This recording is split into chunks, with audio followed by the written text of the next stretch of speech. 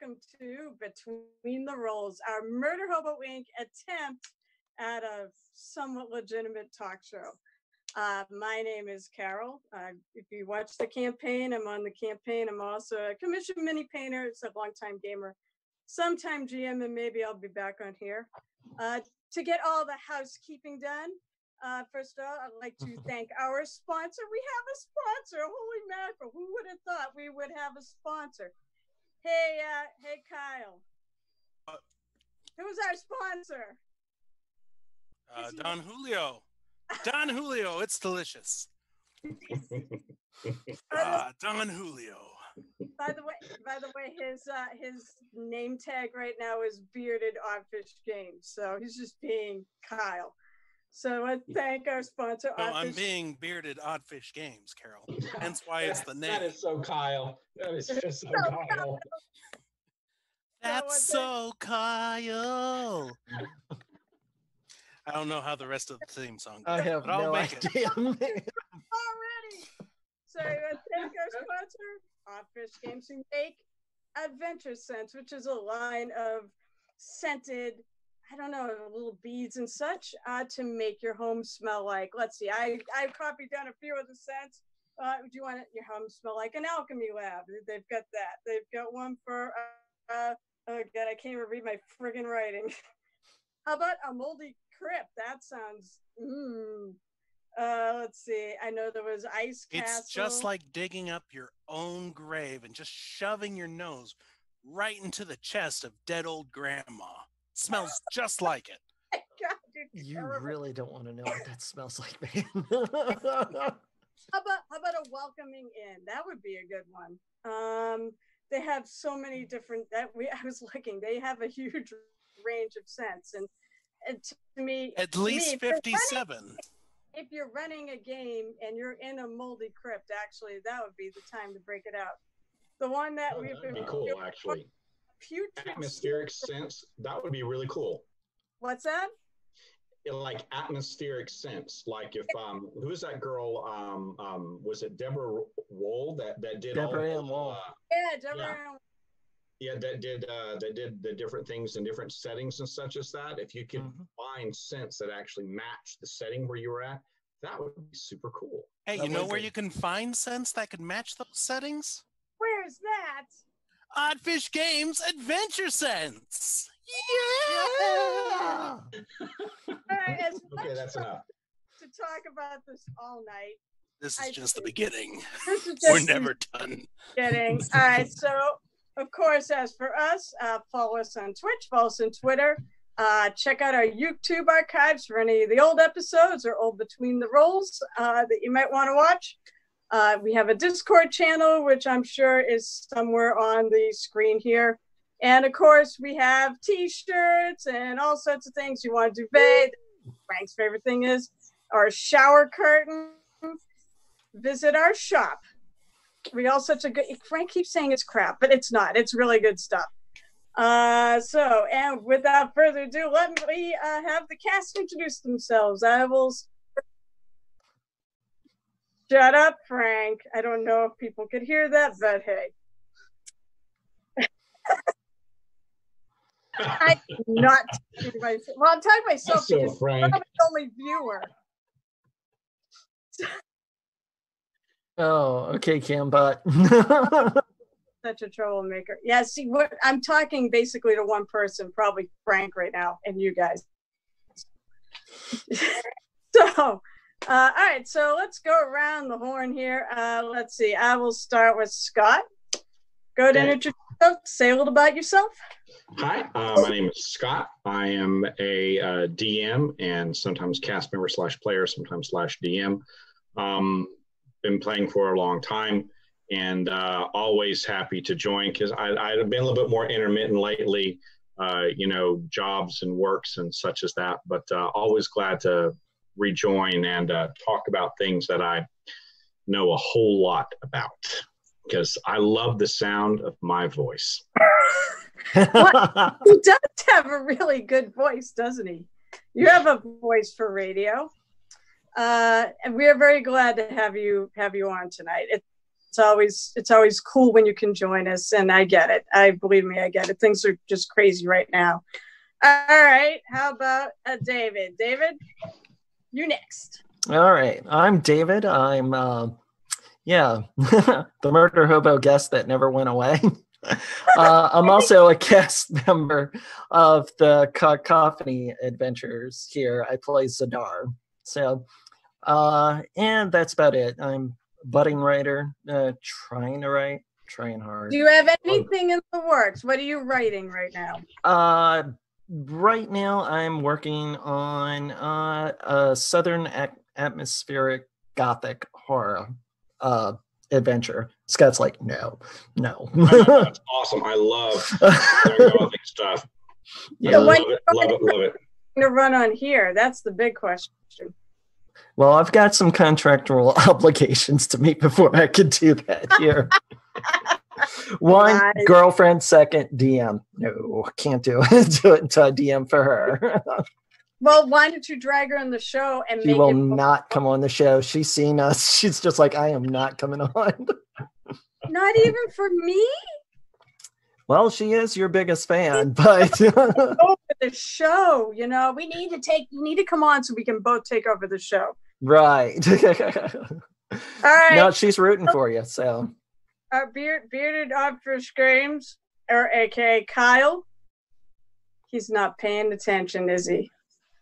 No, He's No. no, he is paying attention, So but he's Kyle. doing something because it's Kyle. You're muted. No, he's Yeah. not. I know I'm muted. You're muted. Hey, everybody, I'm Kyle. I am a player. I played Dewey Docmel. I played uh, Dibble Thibbit this last Thursday. You Dibble Thibbit it. We deliver it. It. And uh, what else did I do? so funny. Oh, I also uh, uh, uh, uh, uh, I DM sometimes too, Yeah, over. but not as much as Dave. Not as much as David does. No, no, that is not totally not true. Okay, So- uh, but I'm not as good as David is. We that don't is totally Get ready not because true. three weeks from now, David's one shot is going to appear. no, it's Hope not. everyone's ready for it. It's It is awesome. not. It is not going to happen. It's going to happen so much. it is not. Already happened. It has already happened. It Wait. ain't gonna happen. Look for it on YouTube. Wait. Three weeks from now, I believe is Gen Con. So it won't be happening in three weeks from now. no, Uh, no. no episode Yeah. that night because Frank will be running a Oh, couple yeah. of scenarios at Gen Con. Mhm. So once they are approved, There we go. damn it, Gen Con, approve his scenarios so we can freaking add them to our cards. Uh, all right, so now we get to the usual first topic, which is a look back at the games this week, which we had two Peroni is shit beer. that the 4th of July fell on a Saturday, and we all decided to take it off because, you know, it's a holiday. Because holiday. Carol likes to take it up. No, I'm just kidding. Kyle likes to take it off. What? But it takes it off, not me. That's nipple. That, that was some nipple right there. Just That was a nip slip. there was no slip about that nip. There's the slip of the nip. That's so Kyle. all right, so I'm going to give this to Kyle. Kyle, why don't you talk about episode 121, a felonious follow up? I would love to, but I actually didn't start that episode. So, David, why don't you you- start how it did, and I'll end it for you. David, you Oh, go. you oh yeah, that's right. Because That's right. he didn't come in until like I don't know, a good 20 minutes later. See, if our most minutes, really. devoted fan, Carol, can't watch the episode, what are you guys doing here? Get out of here. Well, Exactly. actually, I had reasons. I, I want to make sure that I, uh, I'm not getting knowledge that I shouldn't be getting. oh, that was the Getting- reason. Okay. I wanted to check with these guys first because I said I it drives me nuts when my when I know knowledge my characters don't, and then trying to keep it separate can be confusing. All right, well, David, why don't you start, and then when he jump when he gets here, let him take over. Okay, so basically, uh, this last episode in Cacophony uh, picks up right where the previous one left off. Uh, we had just finished an encounter doing an investigation into the murder of a courier, a delivery person by the name of FedEx. So, What? Wait, wait, you were investigating. Why are we investigating the murder? We all know who how that went down. shut up, Carol. Uh, no, uh, we were following up on leads uh, from our encounter with FedEx there. Oh, okay. So anyway, uh, so uh, we it starts out with uh, uh, early in the morning. We get a knock on the door. Zadar answers. He's still in his Gina, you know, Carano form, you know, warrior princess type. Anyway, Oh yeah. uh, and- Zadar opens the door, and it is Fauntleroy from the uh, Adventures Guild in Cacophony, sent by the Guildmaster from Under These Nuts. So, anyway, God, these names. He's nuts. Anyway, I know. we get set with the task of finding uh, a particular mark in the uh, in the city, but the, it turns out to be on the outskirts of the city, kind of like Old Town. Uh, anyway, we uh, track down some clues to to find out who this mark is, and then suddenly we find them, and it is the very this little entrepreneurial guy by the name of what's his name, Kyle? Dibble Thibbit. Dibble Thibbit. Dibble The Thibbit. bit- the bit- the bit- yep. He Dibble delivers Thibbit's it. it. delivery service. You dibble Thibbit it, we deliver it it. So uh, yeah, after our uh, meeting of with Dibble and uh, uh, some coaxing with him to kind of join us in our investigation because it would behoove Dibble if we did. So anyway, we tried to coerce him, you know, through coercion, but Yeah. that didn't work. Not at all. It turns out he is too genuine and honest a person to be dragged into uh, coercion and bribery by Yeah. the likes of them. Yeah, didn't work. Anyway, No. but eventually he joined us. Uh, there was a couple of incidents, like on the way going into Old Town, that mm, uh, involved uh, a small litter of puppies that turned out to be rabbit at the end. so, Oh jeez. oh yeah, don't give away free puppies, folks. Just another day in cacophony. anyway, Ooh, I like the harmony. uh, that. We're writing after this- uh, an incident with uh, an assassin uh, who um, uh, had a mark also on oh uh, Dibble what their name? Something the name? lung. something uh, lung, Something the lung. Because they could blow crossbow bolts out of a blow, a blow gun. gun. yes. oh my god. And uh, yeah. So anyway, we um, apprehend this assassin, take him back to Dibble's place. Uh, they didn't cooperate, so Dibble sent them to deal with Gary. Garrett, Garrett, the meth it, alligator. the meth addict alligator. The free puppies have rabies. The Mhm. sewers have meth gators. Oh yeah. Great time to be in cacophony, guys.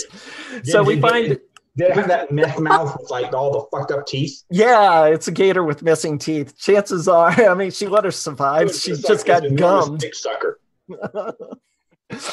so anyway, uh, we follow up on uh, somehow we managed to discern clues or whatever from what we had found, and we ended up uh, finding out who put the contract out on Divot. So we followed that up. It took us to uh, some skeezy bar. Excuse me. I wouldn't say it was skeezy. I thought it was a very pleasant bar with lots of wonderful treats that were decorated the place. Yeah, There were these buttermilk cheese critters. You know, one was a the pepper kraken, one was a Mhm. funky hedgehog. They had ceviche tomato bombs and the drinks, poppin' lemon drop drinks. Oh, You know, yeah. it was absolutely amazing the food they had in that bar. And you can tell they got it from the acid test from Oddfish Games. yes. You want to try and make some of those delicious things that they had on there? Go to Oddfish Games. Buy the acid test. It's a nice way to enjoy some nice cold meals. It actually is pretty cool. is. So anyway, to sum it up, we ended up having a confrontation with uh, this. Uh, turns out to be some kind of crime boss. Um, ends up with Tibble killing him. Zadar uh, ending up uh, taking on his persona and identity and using it uh, against another would-be assassin that came into the bar. And since Zadar assumed the persona of the crime boss, turned bar against the the assassin, and she she dimension doored out of there. So anyway, right. yeah. And then we just wrapped it all up from there. yeah. I told Dibbit where the package was or could have been, and he found it and lived happily ever after yeah. with his little larceny. So what? Lars, Lars, what? I Dibble Thibbit is uh, yeah, that's true. Okay, next time. playing Dibble. I want to play in a game with this uh, Dibble. Tibble. Dibble. Dibble Thibbit of Dibble, Dibble Thibbit's delivery service. You yeah. Dibble Thibbit it, we deliver it. it. Yeah, when he got stabbed, he had Dibble Dribble coming down off the knife. God, that's terrible. that dibble dribble that got everywhere. Like, surprisingly enough. Yeah, like, what's the name right of this bar? little little dibble dribble. Little, little, little David, right there. right, David. Was the skeezy bar one of the ones we had been to before? No, this was a this was an even skeezier bar. Oh so. my god! So we're with a great menu. What's that? All right, so so we as it unfortunately I don't think any of us watched Sunday. Unfortunately, I'm way behind on that. I, I can I've give a little recap. Well, yeah, exactly. All right, David, give us a little rundown that we heard from our fearless leader who ran that. Uh, it's actually it sounded like a ton of fun and a lot of interesting crap happened. So go ahead, David. Well, if you if you happen to watch the previous episode, it was a lot of shenanigans from the first one. Uh, from from from what Frank tells me that uh, yes, the party has left Cragwitch, but before that, there uh, there was an ensuing Bard War, which that was started by yeah. Copious V. Bitters and Robert of Zeppelin. Yes, Robert of Zeppelin did not appreciate Copious enlisting you know the the solicitation of other bards so anyway uh, so anyway basically ends up in a bard war uh, from what I understand, there was another sexual escapade, this time outside uh, outhouse sex with Griselda. Uh, they make it to the high seas. Uh, there, there. But before they left, there was a conversation in the bar with with sailors about zonkies. So you have to watch the first episode to find out about the zonkies. And then, yeah, they ended up getting boarded by Minotaur pirates. So, so uh, watch the episode. It sounds interesting. Boarded by a Minotaur pirate. Yeah. I, I said it like that on on purpose because right. chances are. I just wanted you to know that I, I, I picked that up because one of them probably did. probably so. I would love Cragwitch to go and meet up or get boarded by these Minotaur pirates. So, so yeah, it should be. Eh, just watch the episode, folks. I'm going to now. it sounds like it sounds like a typical session of Murder Hobo Inc. with nine thousand shenanigans, which is what makes this podcast so cool. All right, so I guess we could actually ooh, we're actually a little early, probably because we only had two episodes to cover, and and there's only one that people played. so, uh, so this week's topic, this week's class discussion, since we are back to it, is one of my favorite. Other than the bard, it's the rogue, which I guess you could kind of say is an offshoot of a bard. uh, I, it's the other way around. well, well, that's true. That's true. Uh, although bards were an offshoot of like. Scott every- will tell us about that. to do everything, but that was another episode, and you know, you always check that out in the archives. But I, I love, I love rogues in every freaking edition. I've always enjoyed playing them. Um, So I think that we will start with uh, a little bit of the different archetypes. Uh, so you guys all have the list, and there's definitely you should. Uh, we'll say, you know what, Kyle? I start with you in case you don't have the list in front of Wow, that Wow, that's thanks, terrible. Carol. I mean, luckily there's a script here that said that you would do just that, so I'm prepared for it. Really? Where's my up. lines? yep. it's a Sure, Carol, I would be happy to do that. Actually, you know what? Odd Fish Games. You know what? How about actually? How about I'm going to actually start with a little something different instead of just going archetypes. What do you like about the bard? What is fun? What do you find? How? What, what class are we doing tonight? you bard? Oh my god! I started talking about bards. So it just, yeah, how many minutes in, folks, that she mentioned Bard? That's so Carol. you know what? No, because I'm ex- actually I'm excited about this because she I have. loves Bards, folks. Bro. She loves them.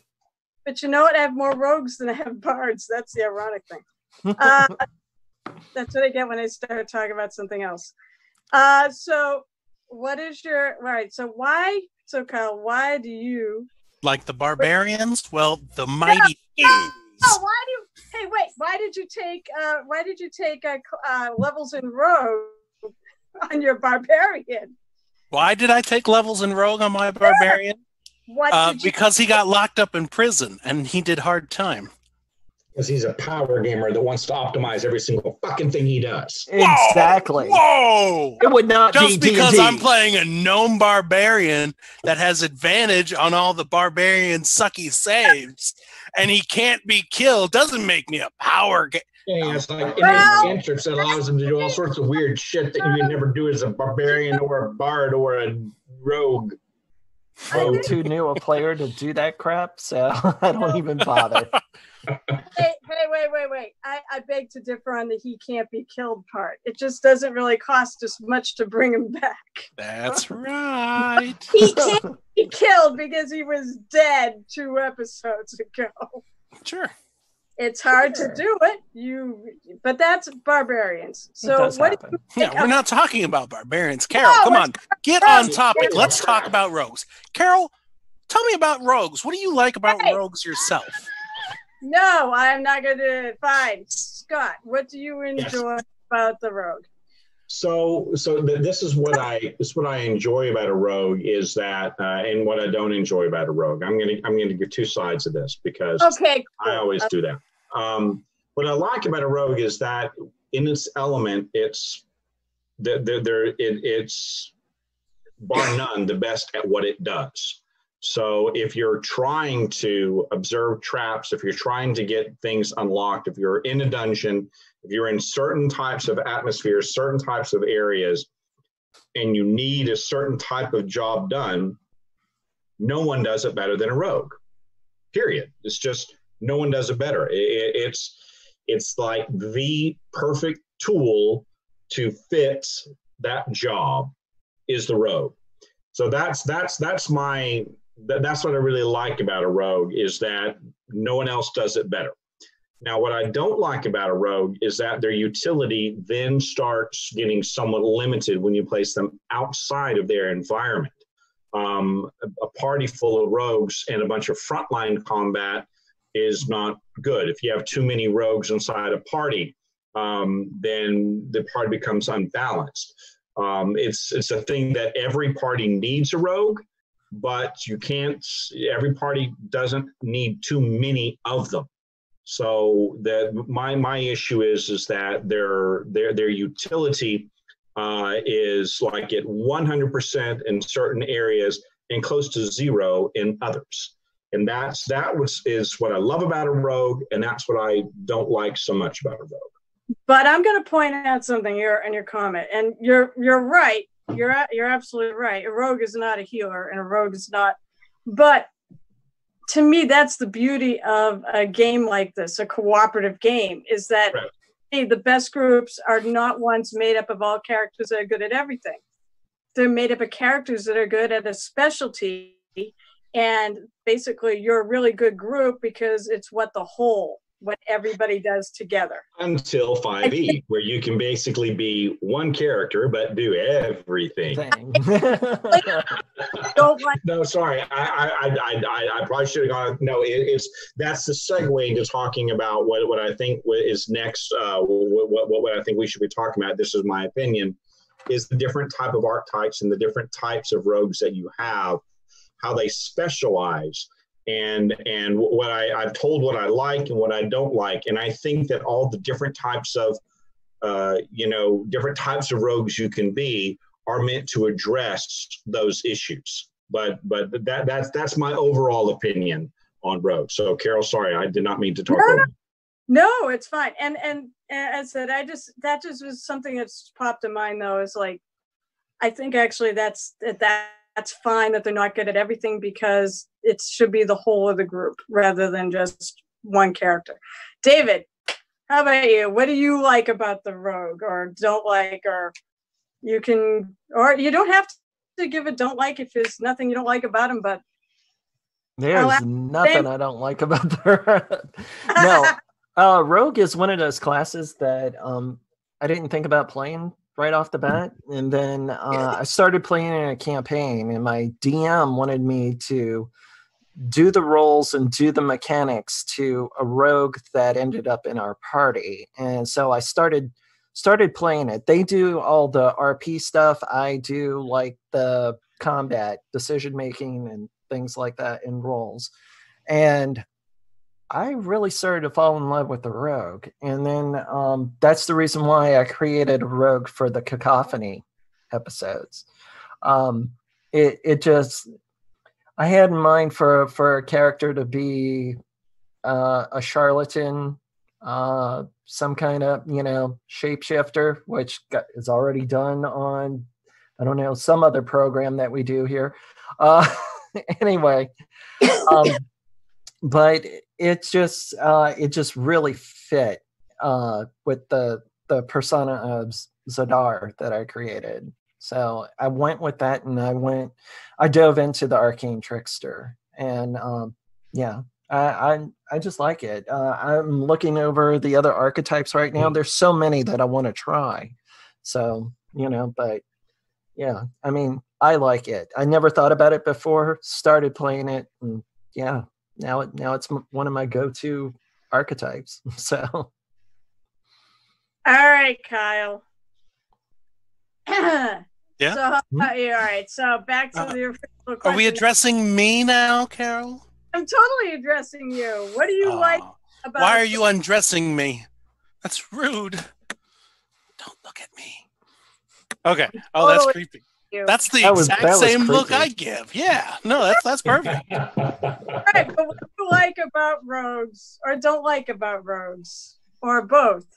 both i could probably do both.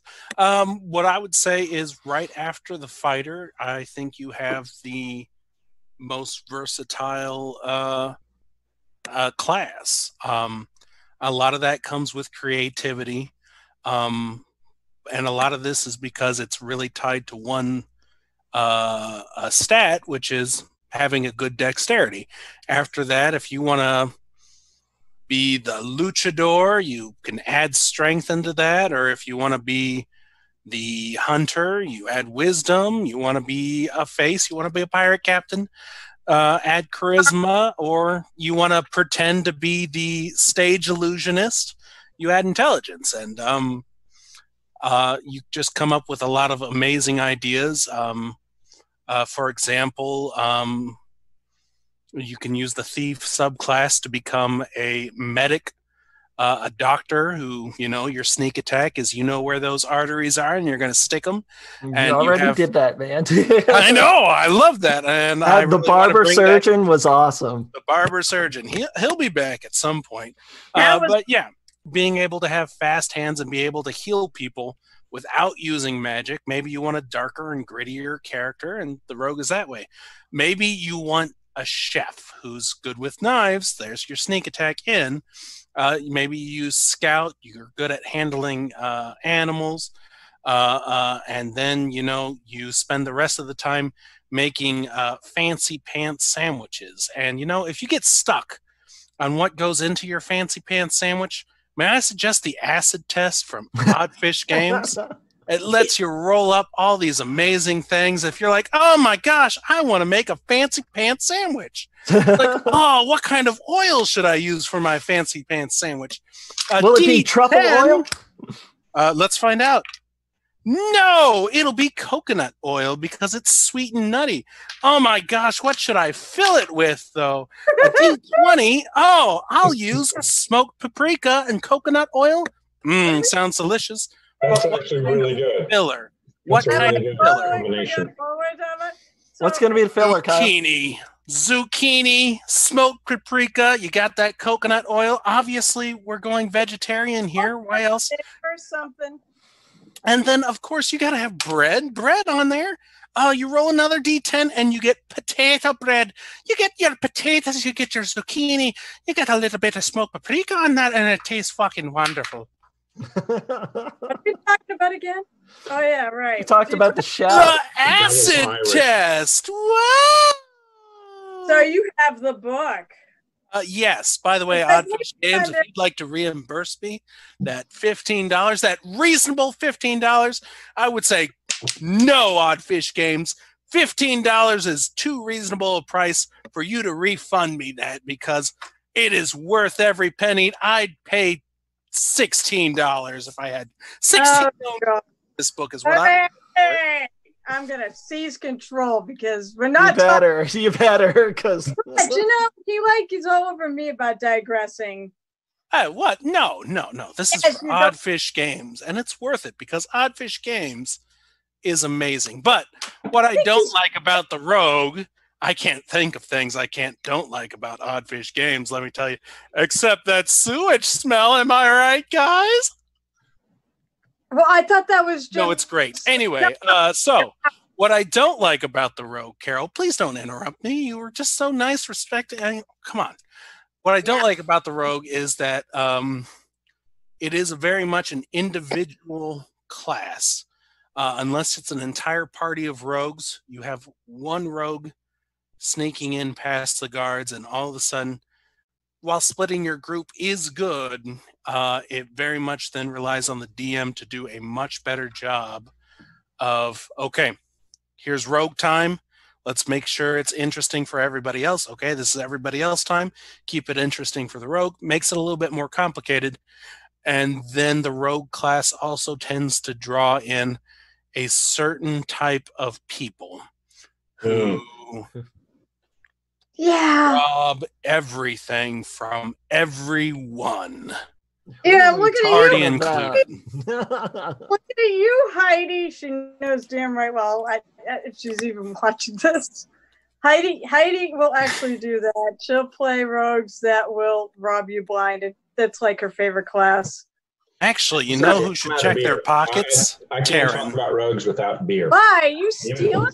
Is Dewey stealing from? Beer. I have checked my pockets. no, I think that's the sorceress that's doing the stealing. Ah, you know, I, I'll find Oh, out. he just left us, man. What the hell? But hey, you know that gives us time to talk about something near, dear, and Oh special to my heart. no, because we're gonna go- Pirate Dog Dice. Oh, They are amazing dice makers. Carol, come on. Tell me about your Pirate Dog Dice. She Come on. You want to show them off. Show us your dice, Carol. You've done it every single time since you've gotten. Are, tho- are those music notes in your dice? They are. Oh. I say, if you ever want, I feel like this is nothing but an ad, guys. Uh, absolutely. Emily, I really because our producer Carrie, who actually took the night off, maybe she's making dice. At, uh, at She is. moment. She's actually making my dog poop dice. Proof that pirate dog dice can polish a turd. I doubt she's literally making them from a turd, but oh my god. You don't know, and it's Carrie, and she's known me long enough. that's that's that's the thing is it is our producer who is the uh, who is the owner of Pirate Dog Dice. Um, I don't know if she has a store yet. I so they're working on it. They're working on it. It's gonna Gotta- launch soon. So, Carol, tell us about rogues yourself. What is your opinion? Because honestly, you let the three of us talk about it, and honestly, Carol, you've turned this Between the Rolls into one big ad space. And personally, I just want to hear about rogues. Carol, what Yeah. do you think about rogues personally?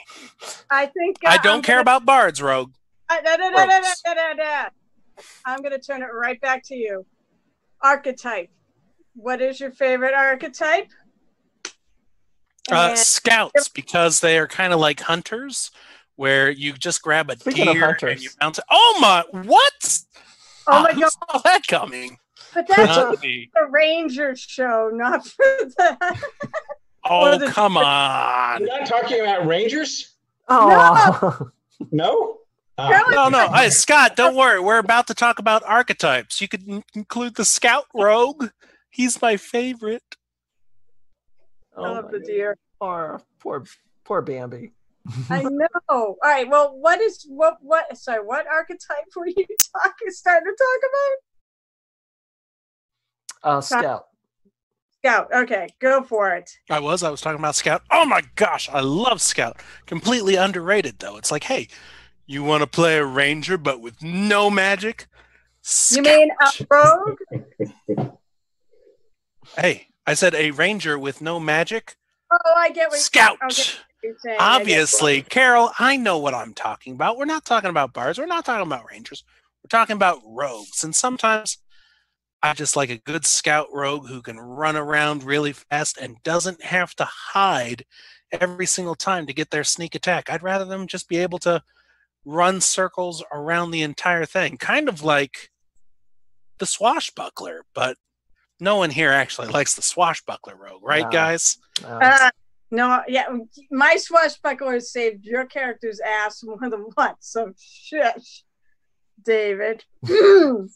I, I will. I'll get to me later. All right, David. How about you? What's your favorite archetype, and what do you want? And tell us all about it. What well, do I you like? got a new one that just just appeared, but All right, fine. What do you like? no, about I'm gonna. I'm That gonna is a talk about- lie. No one has seen this Nobody's seen that subclass yet. anywhere.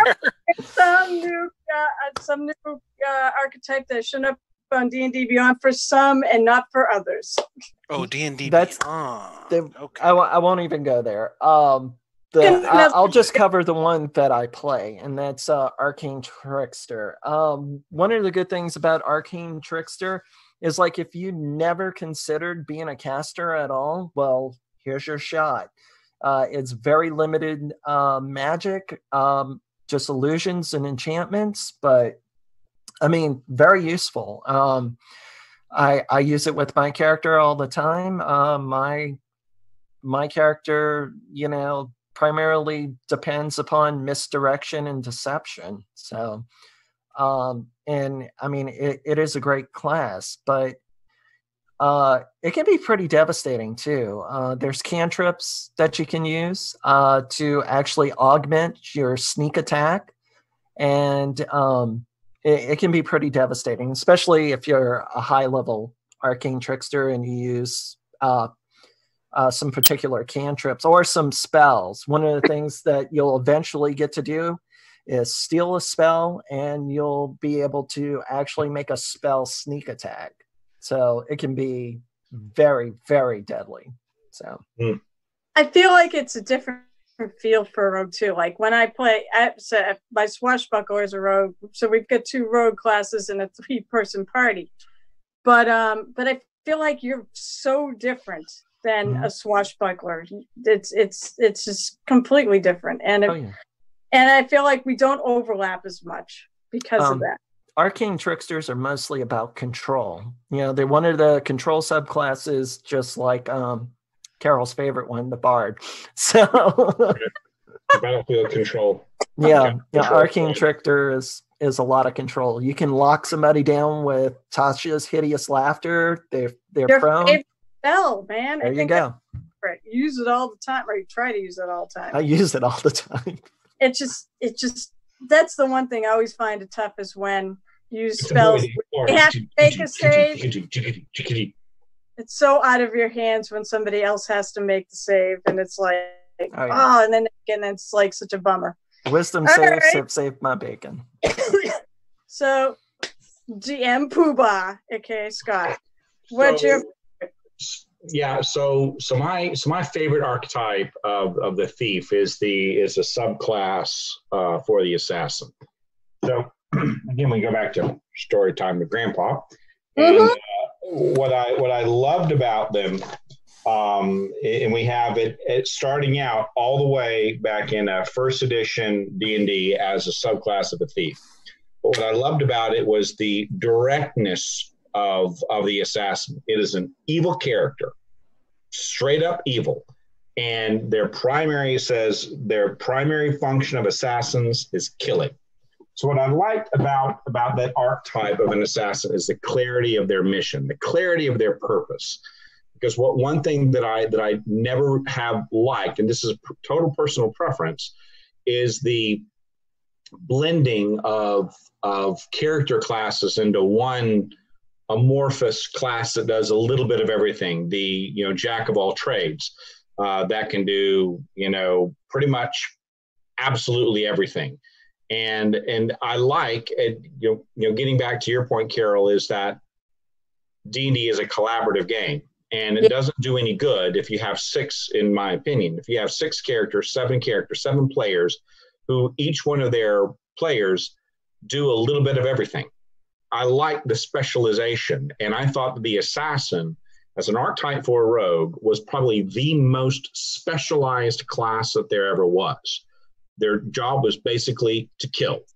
Now, my my interpretation currently um, of of them in in in 5e as the as an archetype I, I, I, think that they've been nerfed a little bit because because I like the fact, and I've always envisioned, you know, um, an assassin is someone that's very very good at poisons, someone that's very good at yes sneak attacks and backstabbings, but the creativity on how they're going to kill you and the idea, the contractual nature of what they're doing, you you can have an assassin in your party, they never know it, uh, and you know you could be the mark and and that that adds a role play element to to the to the assassin that that that I've always enjoyed. I've always enjoyed the idea that you know anyone can be a mark and I however I achieve my objective at the end of the day is is it, it, it interjects a level of role playing into it that I've always enjoyed. But the directness and the singularity and the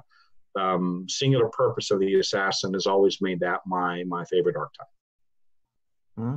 It's cool. Uh, so we'll get. To, I will actually talk about mine because he didn't put it on the list for that specific reason because he knew I'd talk about it. Uh, my favorite. have is, to. My favorite. I mean, I actually I do have a thief. radio. I believe, is a thief version, but but the one I think I enjoy more is I do think I enjoy the swashbuckler because, like Kyle said, you don't have to you don't have to meet. It's not as hard to meet the conditions to get sneak attack with a swashbuckler as it is with most of your other standard rogues, um, because you've got fancy footwork. Now the other neat thing too is if you get a melee hit on that on your enemy, you can actually run away. You can actually leave without provoking an attack of opportunity, which I think is a pretty cool little uh, benefit too. But my favorite part is being able to have sneak attack as long as, well, actually, basically, I think you can have sneak attack almost any time because the special ability allows you to have it if nobody's within five feet of you, but if somebody else is harassing it, I'm pretty sure that that ability doesn't go away. Carol, it doesn't. Do you believe? I have to ask one quick question. I'm sorry, Carol. I don't mean to talk to you. I say one quick question. Do you believe that the swashbuckler was based on Inigo Montoya? Maybe I don't know. I, I don't. I. It's very possible because let's face it, he was. Um, he, he, he is he is he was a swashbuckler, no doubt, yeah. a swashbuckler, and hell of a good fighter. Hell of a good um, fighter. That's right, and he had fancy footwork. Yes, he did. It says it is very possible that that was one of their influences. Um, I mean, or you know, even think about like Errol Flynn, or that's that's the other one name that pops to mind when you think of swashbuckler, or heck, any of the Pirates of the Caribbean movies. You know, there's all swashbucklers there too.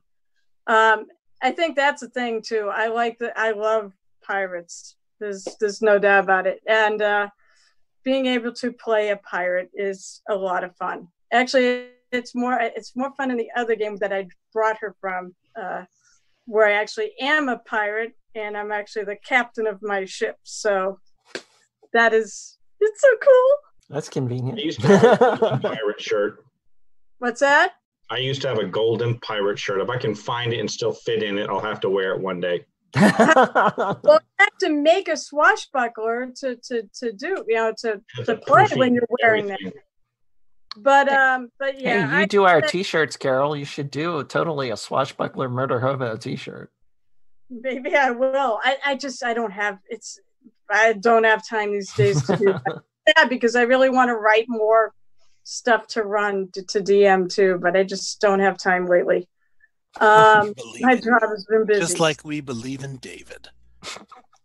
I know I'll David let did that lie. use I do. Oh Okay. my god, folks.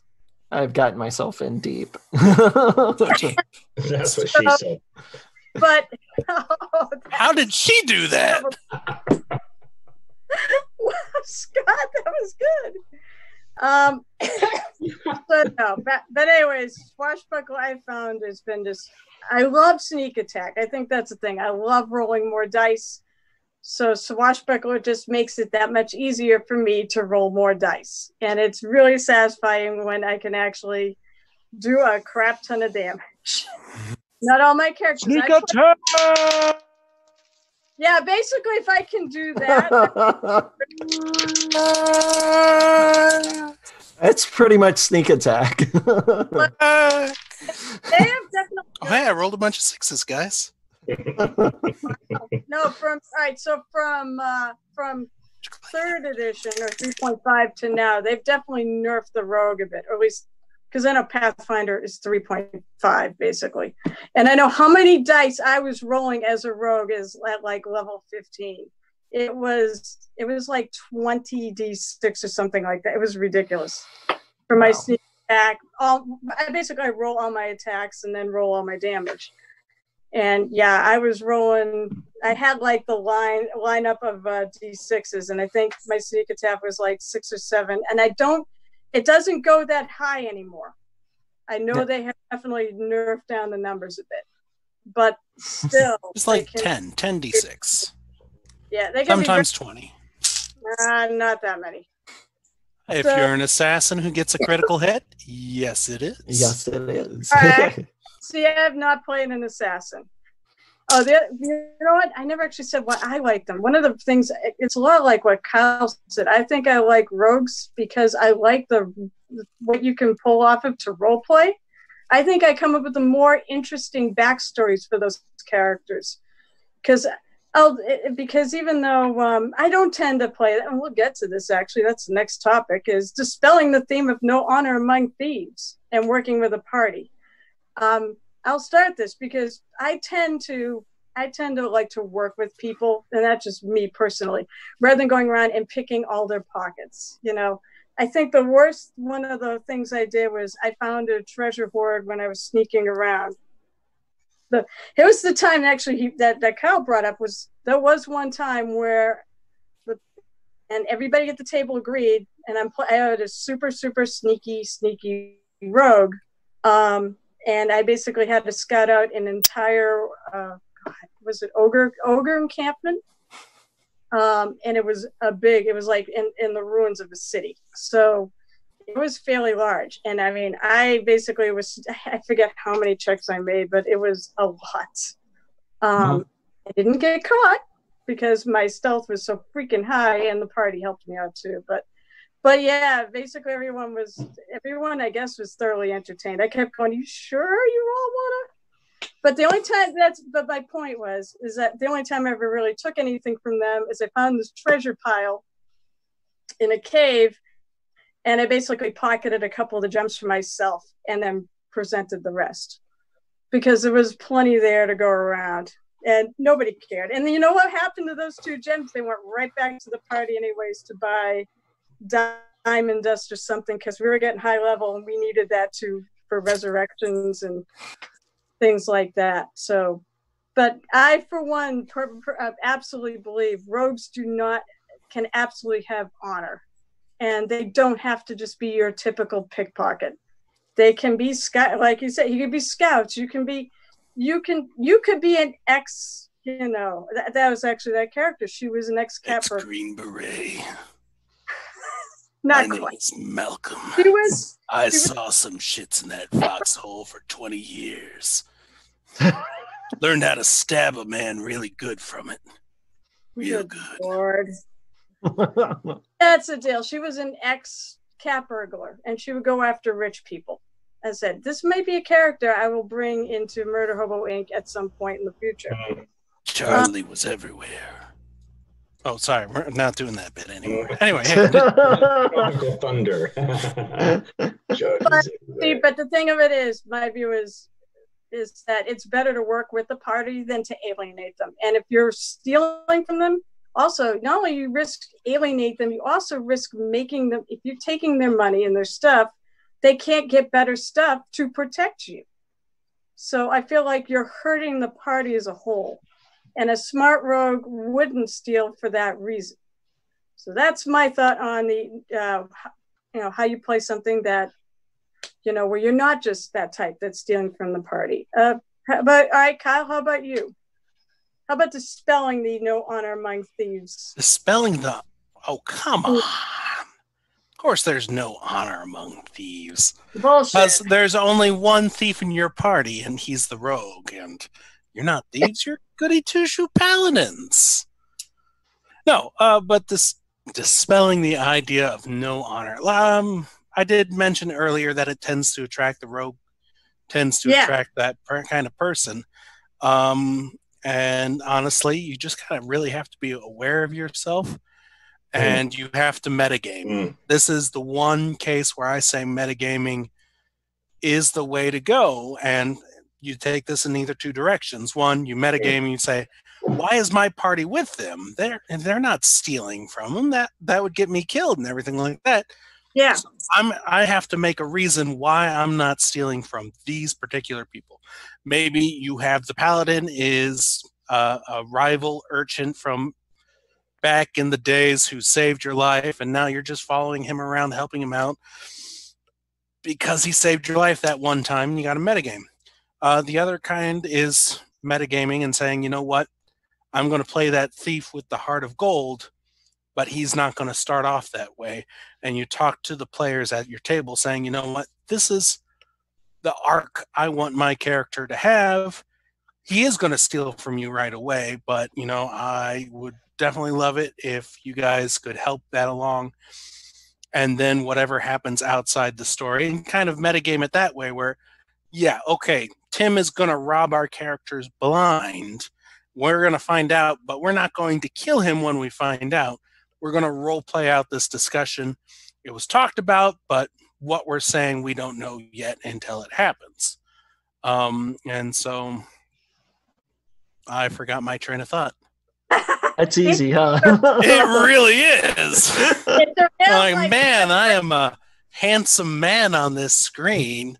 Uh, I probably smell like something Great. from Adventure Oh my god, I distracted myself. um, I'm right next to Scott. He has the head full of hair. I've got this glorious beard as well, and I'm just like I'm lost in our eyes. and I have neither, and I hate you both. I swear. hey, all right, Scott, how about you next? So it, it it's an interesting question because from what I said earlier about the the singular nature of the assassin being my being my favorite portion, um, I'm not sure if it should be dispelled. Right, I, I'm sure that there is honor, but for me, a thief is all about personal honor. He's going to have his own set of ethos, his own set of morals, that he holds higher than the party's ethos and the party's morals. Where those are aligned, he can be a very effective party member. Where they're not, he's not. So I'm I'm going to explain like a like a quick hypothetical. You have a you have a situation to where the um, um, you have a party of good characters, all all good characters. The uh, the thief or the rogue and the element and the party is a chaotic good character he's stealing from the party Um, and the rest of the party is pretty much either neutral good or lawful good, including one or two, you know, lawful good fighter, lawful good paladin. Um, he's stealing every now and then from the party, but he's selling the gems and goods that he's stealing from the party in order to give to an orphanage. Okay, the party catches him. the The lawful good paladin catches him in the act, but also is made aware of the reason that he's being stolen from is to support an orphanage. So the overall end is good, but the way he's going about it is totally against the law. So then you have an idea to where the thief is acting as an agent of good, but in a very chaotic way, in a very uh, singular way, to where he's looking out for his this Robin Hood idea, where he's stealing from the rich and giving to the poor, assuming that a paladin knight is a very rich, wealthy person who doesn't really need all that. Now, how does that interplay inside party dynamics and how does that dispel or play into the idea there is no honor among thieves that to me that dynamic is very difficult to pull off inside a party unless you do as kyle said damn it he was right um, you metagame mm. The thief has to know why he's doing why he's doing what he's doing the thief needs to understand what it is motivating him in order to take these actions. If a good player can metagame that correctly, I think it works inside the party dynamic, and there can be honor among thieves. Outside of that, it's very difficult, if not impossible. So, where I like the assassin is you don't have to worry about it. He's a dishonorable person, and he knows he's a dishonorable person. He's there purely at the convenience of himself and maybe the party is walking along the same path for a little while. But make no mistake, he's there for his own his uh, his own motivations, pure and simple. A neutral evil, um, neutral evil assassin is about the one of the purest players, the purest characters that you can play. Yep. No, uh, I guess I have a different view, man. I mean, I always thought just just because the class said thief, you didn't necessarily have to be a thief, but you had those that certain skill set they picked up being a thief in your past or whatever that compromises it, and you could be except like a scout or something else. I said well, I've go back to the oh, medic there, Carol. What? Go back to the medic. He is the right, thief subclass, but he's completely random. He knows how to scale a building. He knows how to jump far across because people can be anywhere and you have to get to them if you want to be able to heal them correctly. So you got to be able to scale up and right. save Just Timmy from the thing. Yeah, yeah I can see that. Yeah. But I said, I, th- I feel like the thief can encompass so much more than just that pickpocket type ideal, or even like my pirate. Um, David, I'll, let, yeah, I'll toss it to you. How about you? What's your opinion? Uh, Scott covered it so eloquently. I was just like, "Oh my god!"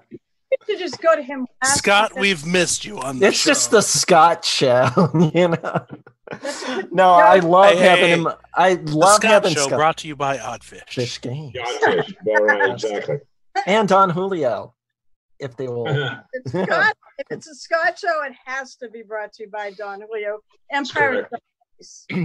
no, right, David.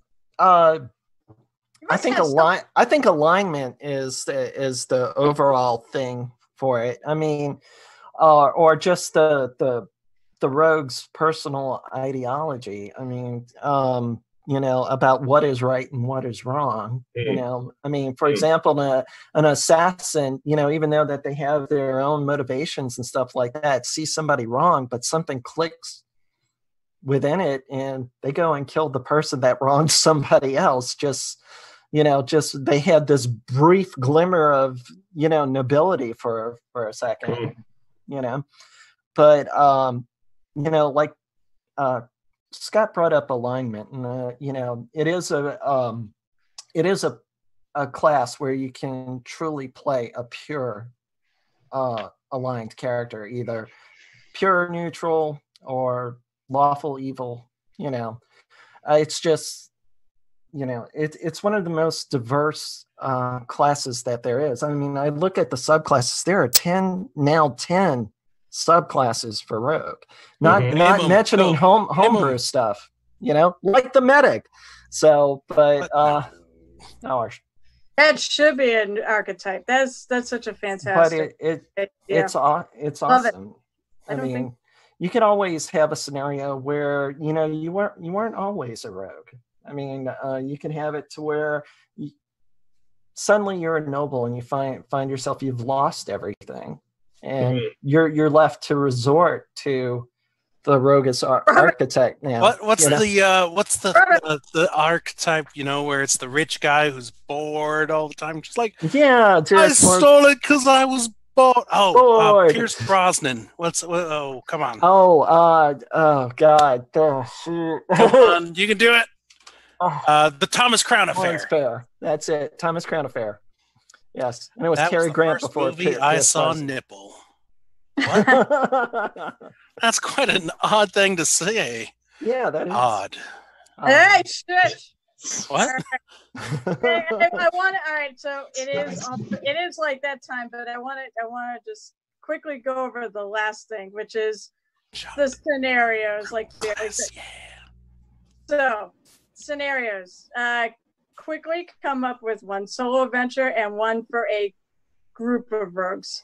Uh, David, you first. solo adventure. I'm kind of like drawing a blank. Uh, it could be, you know, you're trying to right a wrong that happened to you, or something like that.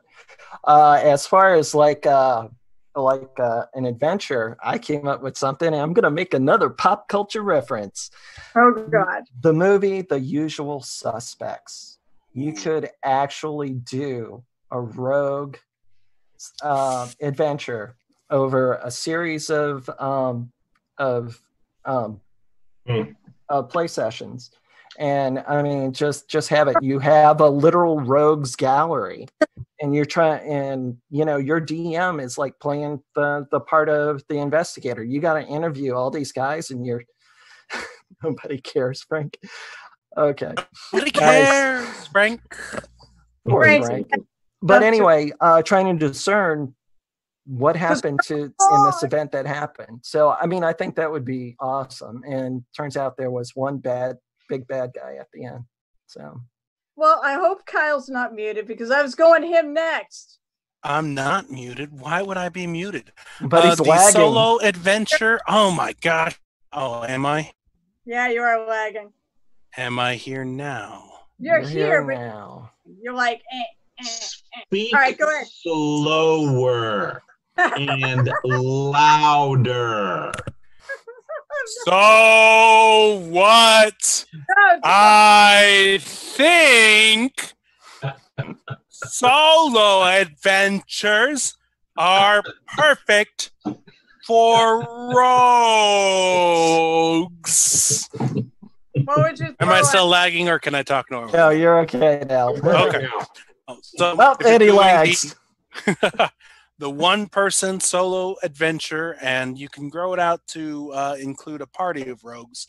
But you know, you have, like David was saying earlier, the investigator.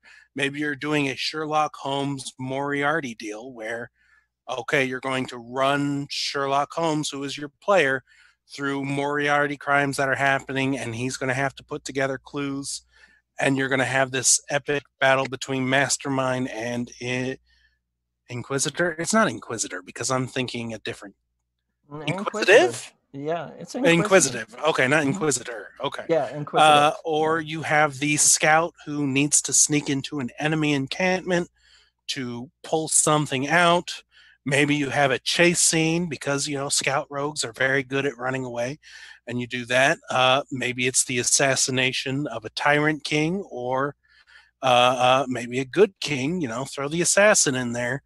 Uh, or finally, you do a church mice deal where your rogue is stealing from the Vatican the Shroud of Turin. Now, why the Shroud is in the Vatican is because it's all a conspiracy theory. Hudson Hawk, yes, Hudson Hawk. Would you like to swing on a star?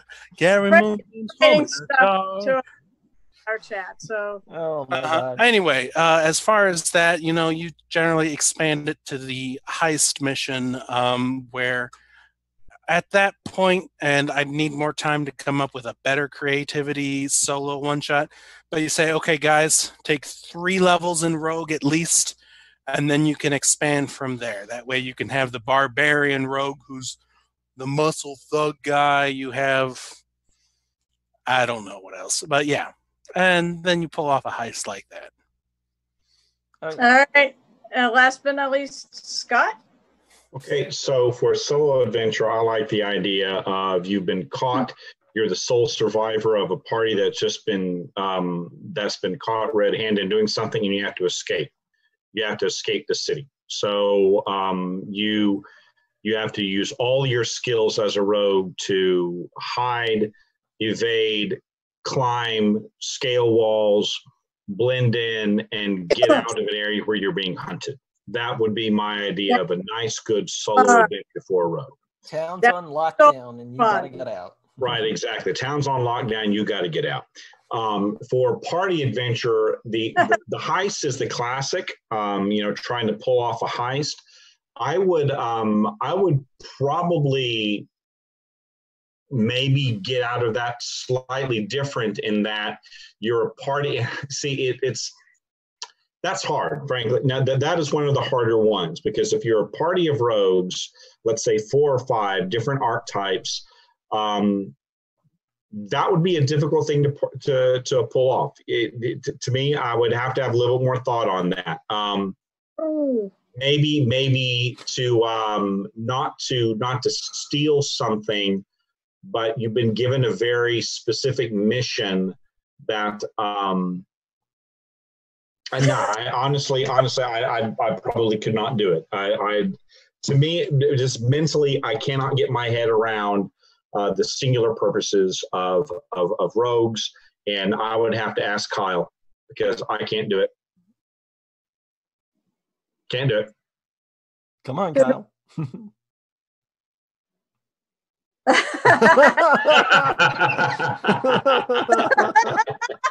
That's what he was doing the whole time, folks. I told you he had the green screen shirt on today. So It's funny because he didn't actually really, unless uh, Frank caught that really quick, he didn't seem to script the cameras too badly. All right, so final thoughts. Uh, let's see. Well, I'll start with you, Scott, since I ended with you there. Yeah, so um, um, love the rogue as the concept. Uh, I tend to play them personally a little bit too singular vision, too singular minded. Um, maybe I'm not quite up to speed, but um, but I love them for their uh, for their singular purpose and for their just they're just the best at what they do. You know, nobody does it better than a rogue when you're asking them to do a specific thing. That's what I love about them. But I'm probably not up to date enough with um, with how to play them correctly to properly adapt all the different uh, archetypes. Yeah, Frank actually posted. Nobody does it Put it better. by the way. Makes me feel sad Frank, for it's the not rest. It's rogue. Uh, Uh, Nobody does it. Half I'm not gonna interrupt you. baby, baby, you're the you're best. the best. Sorry. I had to What? Uh, We were going Hudson Hawk. We were doing Swinging on a Star. What is the bullshit? it turned into a musical, folks. Okay. we're gonna have to have Between the Rolls a musical episode at some that point. would be awesome. Or- Yeah, awesome. Oh. Oh man, that is such a good idea. Oh, oh, God, oh, Oh, my god! I think, I man. Think I'm gonna die of a heart attack. I'll start writing the Oddfish Game song that I'll throw in there every five minutes. the Odd fish games. The fish games every five minutes. Gonna be a minute. oh my god, we're never gonna end this episode tonight, David. nope.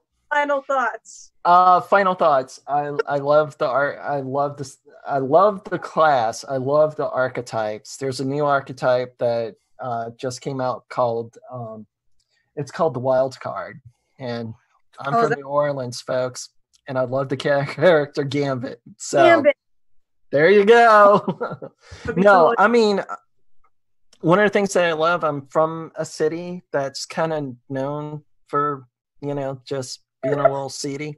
So anyway, yeah, uh, I got a lot of fodder to work with. So hey, hey, Frank, since he, keep, keep, he keeps typing stuff up. Frank, you know you're part of the problem. Stop typing. Or the stuff. solution. solution, depending on how Uh-huh. you look at it. You know who ends between the rolls on time? Frank does. Actually, does. a lot as I do, but he keeps friggin' yeah. Well, he's half the reason why we're going. We went over. All right.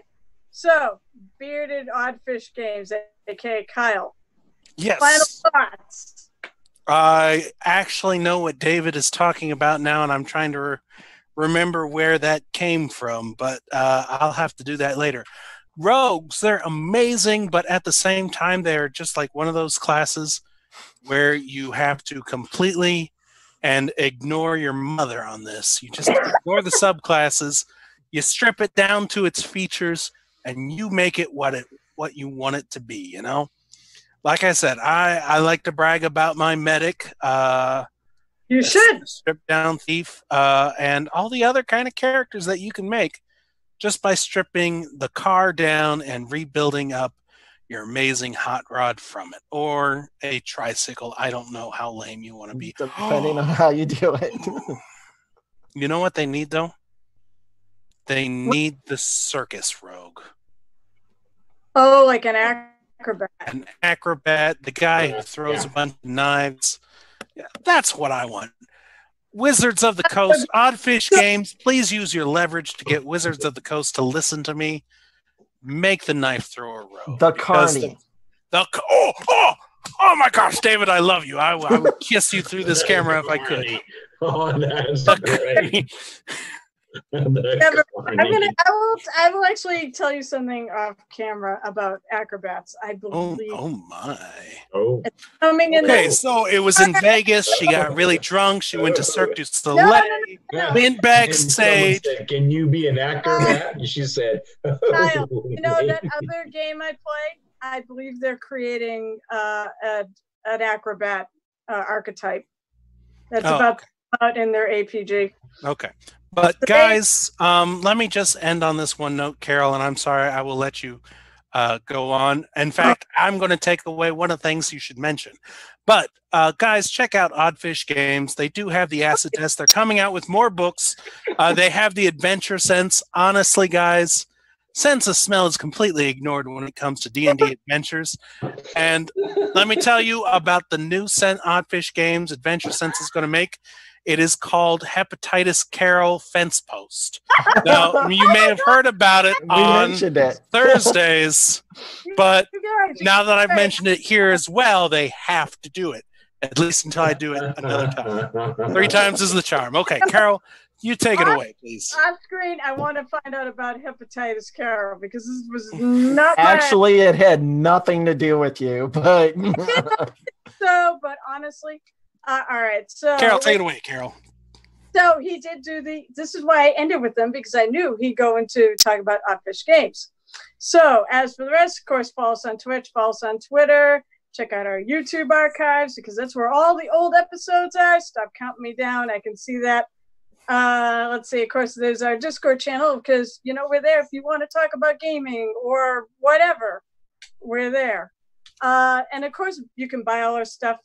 Not all our stuff. But you can buy our stuff, our cool stuff like the skirt uh, skirt.